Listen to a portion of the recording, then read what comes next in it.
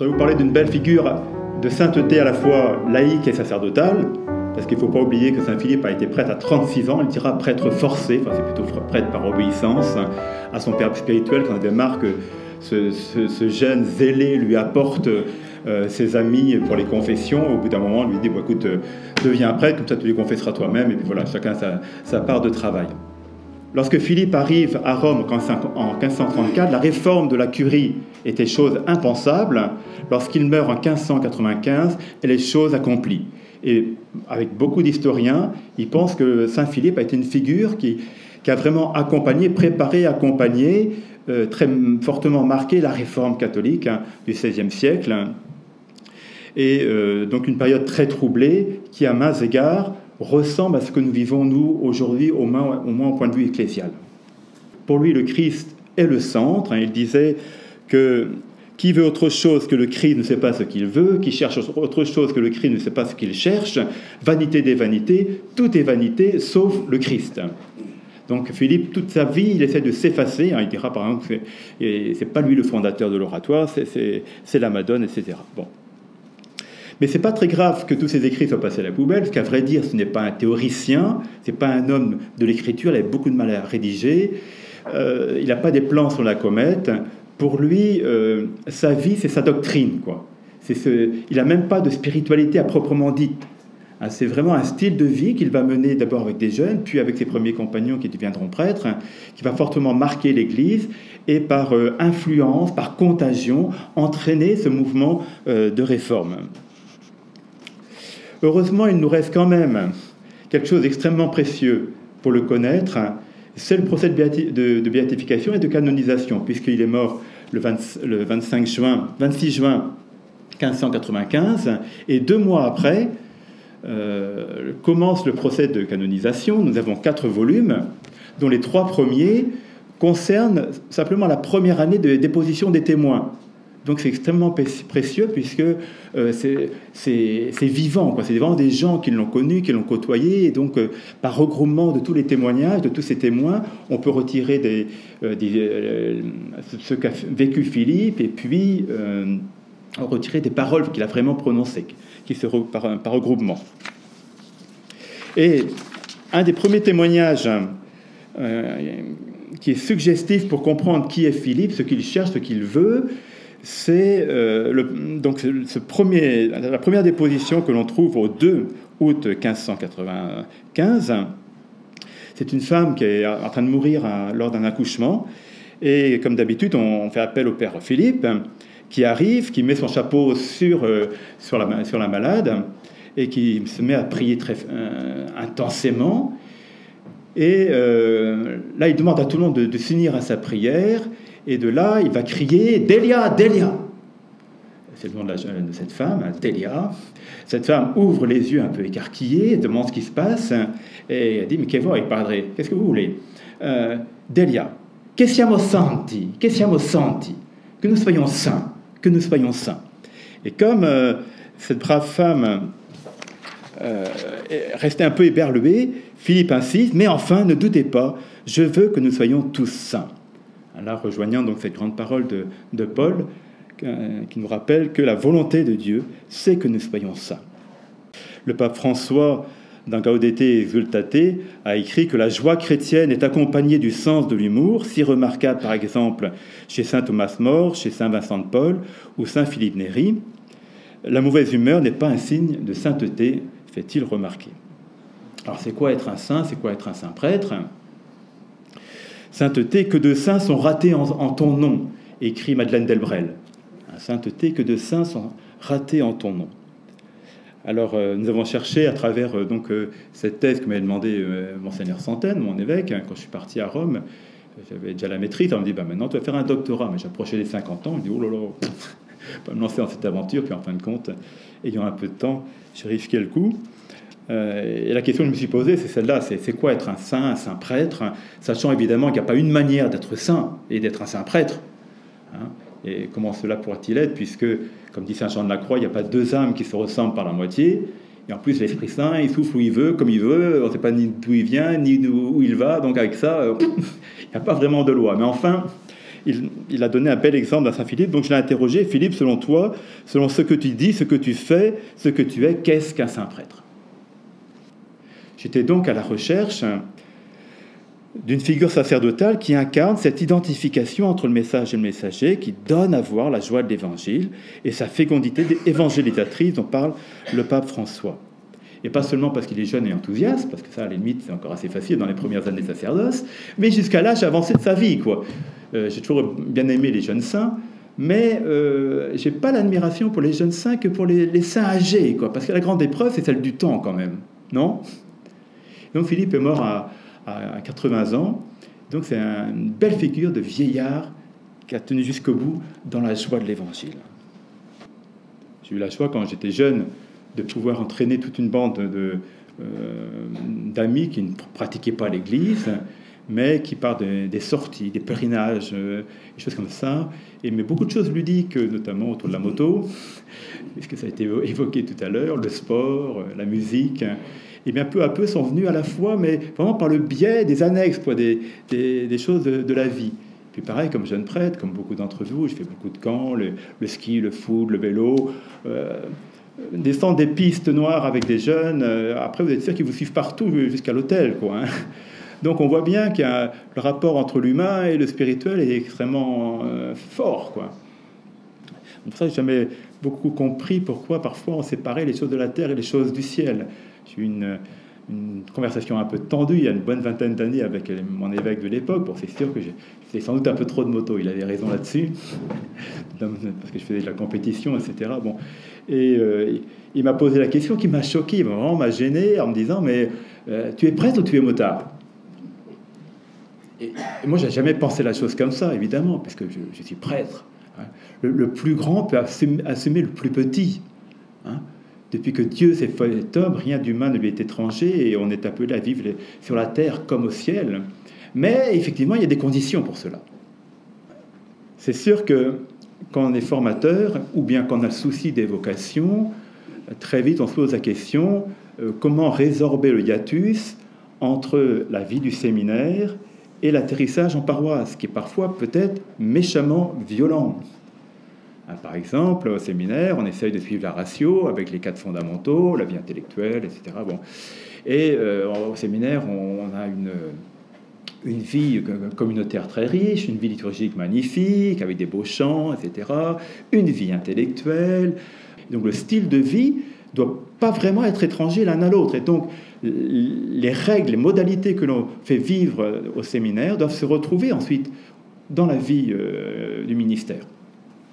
Mais toujours est-il que ça m'a fait réfléchir et euh, c'est comme ça que euh, j'ai cheminé vers l'oratoire, mais dans un premier temps, ce n'était pas la figure du fondateur de l'oratoire, Philippe Néry, qui m'attirait, parce que comme petit breton, euh, il y avait un méchant décalage entre la sobriété bretonne et la fantaisie italienne de Saint-Philippe.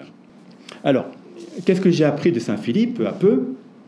La première chose, c'est ce qui est central dans la vie de Saint-Philippe, c'est qu'il a vécu une expérience à l'âge de 29 ans, donc il est encore laïque, et euh, un pieux laïque, qui vit à Rome depuis euh, à peu près 9 ans, et il va faire une, euh, une grande neuvaine à l'Esprit Saint pour demander la ferveur.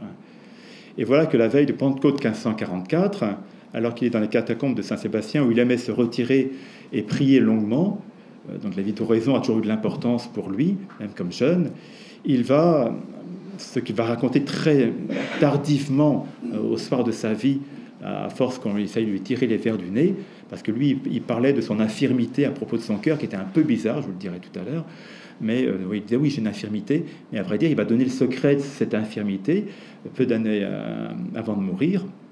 Donc il aurait vu un peu comme une boule de feu euh, venir vers lui, entrer dans sa bouche, descendre dans sa gorge et jusqu'au cœur, et le brûler, le cramer littéralement de l'intérieur, au point qu'il va se, rouler par terre et dire Seigneur, j'en peux plus, je n'en peux plus.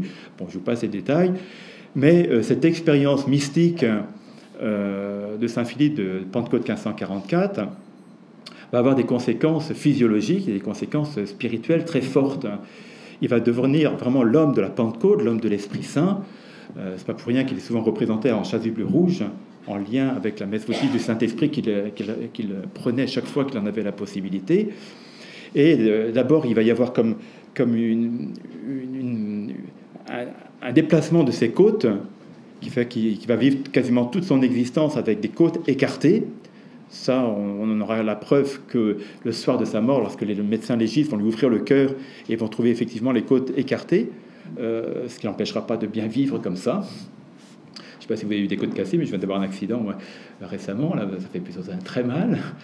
Et euh, lui a vécu toute sa vie avec ses côtes pour laisser la place à un cœur trop grand pour lui, une fois et demie plus, plus gros que la moyenne. Quoi mais ce n'est que l'expression physiologique de ce, feu qu'il habite et qui va faire que euh, physiquement parlant, dès qu'il a une émotion religieuse, c'est-à-dire lorsqu'il se met en prière, lorsqu'il va célébrer la messe, lorsqu'il s'approche de reliques, il se met à à trembler, au point de faire trembler toute une pièce, par exemple comme ici s'il y a du plancher, ou bien à rompre un banc de chêne à la basilique Saint-Pierre de Rome, alors qu'il est en prière. Donc il y a pas mal de témoignages qui racontent comment ces, témoignages qui partent de son cœur, enfin ces tremblements qui partent de son cœur, se communiquent au lieu où il habite. Hein. Voilà. il a toujours chaud, euh, on raconte comment, euh, par exemple, il se balade avec des jeunes en plein hiver dans la neige. Lui, alors qu'il est, encore, il est âgé, euh, il, a le col ouvert, il a chaud, alors que les petits jeunes, ils tremblent. Et toujours chez lui, en plein hiver, il aura les fenêtres ouvertes. Il aura un adulte spécial au moment du Concile de Trente où on rappellera les règles vestimentaires pour, pour, pour se confesser.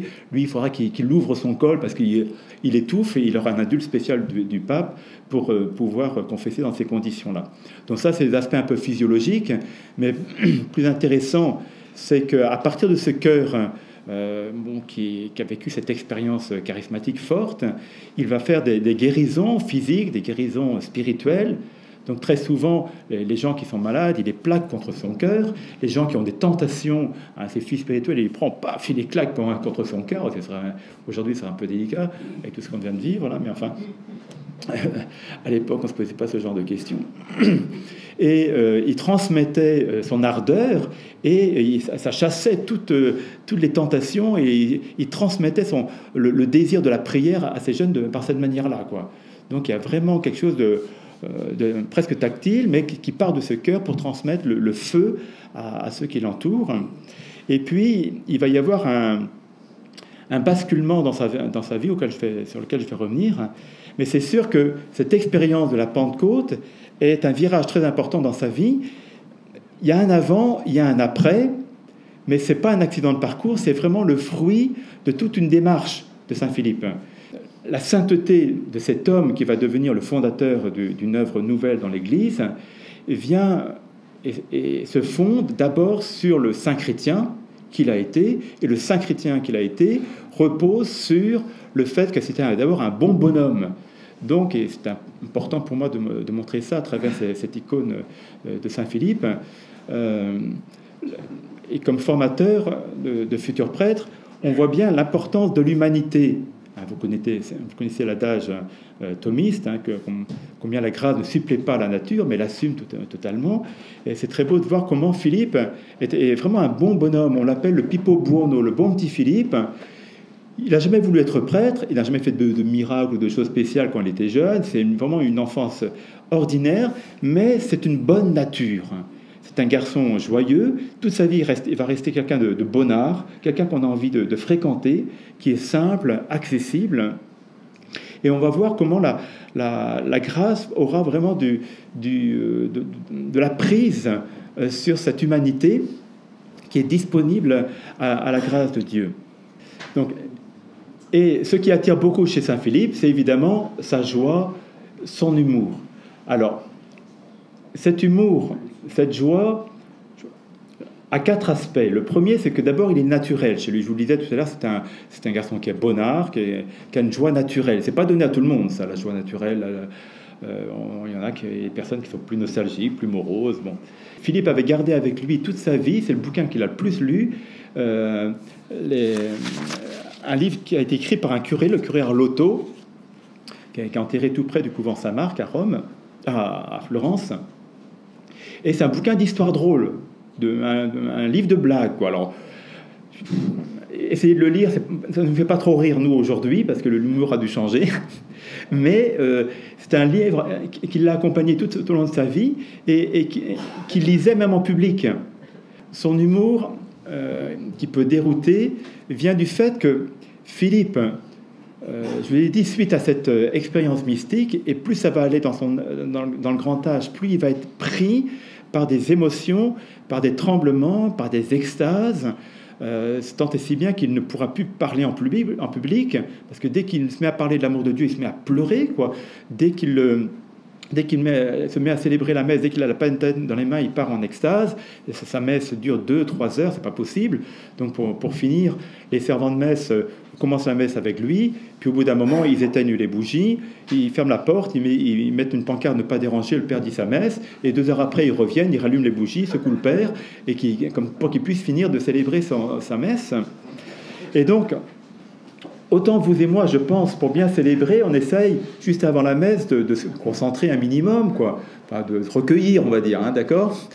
Euh, Pour Philippe, c'est l'inverse. Pour bien célébrer la messe, ou ne serait-ce que pour dire simplement sa messe, il était obligé de se distraire. Donc, avant sa messe, il se fait lire des histoires drôles. Et pendant la messe, il y a la fameuse histoire du chat que vous connaissez peut-être, où il y avait un chat sur l'autel qu'il caressait, ou un chien, ou bien, euh, ou bien des clés, ou un réveil. Enfin, n'importe quoi pour le distraire, quoi. Parce qu'il s'agit pour lui d'échapper à cette emprise qui fait que l'émotion euh, religieuse le submerge et il ne peut plus continuer, quoi. Donc c'est un, peu bizarre, mais beaucoup des blagues qu'on entend sur lui viennent de cette nécessité d'échapper à l'emprise euh, mystique qui, le prend et qui l'empêche de, vivre et qui l'humiliait beaucoup. Ça l'humiliait beaucoup. La clé de ce truc-là, tant qu'on ne l'a pas saisi, je pense qu'on peut euh, trouver ce Saint-Philippe un peu dérangeant, c'est que euh, il préférait passer pour un fou que pour un saint. Et là, je voudrais faire le lien avec ce que nous avons, enfin, une des questions que je portais, comment être dans le monde sans être du monde, c'est que pour lui, pour Saint Philippe, la clé de tout, c'est le renoncement à tout, une fois qu'on a renoncé à tout, on peut tout retrouver dans la liberté des enfants de Dieu. Que cette liberté des enfants de Dieu a un prix, et c'est ce que lui appellera euh, la, mortification du rationnel. Il se tapait le front avec les trois doigts, il dira, il dira tout est là. Tout est là, c'est quoi? C'est la volonté propre, c'est euh, le fait de, se conduire soi-même, c'est le point d'honneur. Chez Thérèse d'Avila, pour ceux qui connaissent un peu Sainte Thérèse d'Avila, elle dit pourquoi il y a tant de personnes qui restent aux portes de la sainteté? C'est parce qu'ils n'ont pas renoncé à leur point d'honneur. On peut renoncer à tout, très peu sont ceux qui renoncent à leur point d'honneur, à leur amour propre et à leur volonté propre. Et donc, tout ce qu'il va faire, c'est d'aller au-devant de ce qui va le ridiculiser, l'humilier. Il rappellera souvent à ses disciples la maxime euh, du Moyen Âge, ne méprisez personne, se mépriser soi-même et mépriser d'être méprisé. Spermere mundum, etc. Euh, voilà. Avoir du mépris pour personne, mais se mépriser soi-même et mépriser d'être méprisé. Alors, on devient vraiment libre. Cela rejoint la troisième forme d'humilité chez saint Ignace de Loyola. Euh, je préfère, dit-il, être regardé comme un sot et un fou pour le Christ, qui est le premier à passer pour tel, plutôt que comme un sage et un prudent en ce monde. C'est là le secret de la joie parfaite. Et à partir de là, on peut tout retrouver, mais converti, si on a renoncé à tout. Et la naissance de l'oratoire, je vais finir avec ça, puis de la congrégation de l'oratoire, ça va être simplement pour euh, créer un espèce d'écosystème de vie, euh, de telle sorte que naturellement, la vie chrétienne est portée joyeusement à travers toutes les activités qu'il fait, en mettant le bon Dieu, l'oraison au cœur de cette vie, que ce soit pour les jeunes ou pour les prêtres par la suite, euh, à travers cette vie communautaire qui va devenir son lieu premier de, la 16 et de chemin de sainteté, il va créer cet écosystème qui fait que euh, presque naturellement on est porté dans la vie de la grâce. Voilà, merci de votre patience, hein, de votre écoute euh, courageuse sur l'heure de la digestion.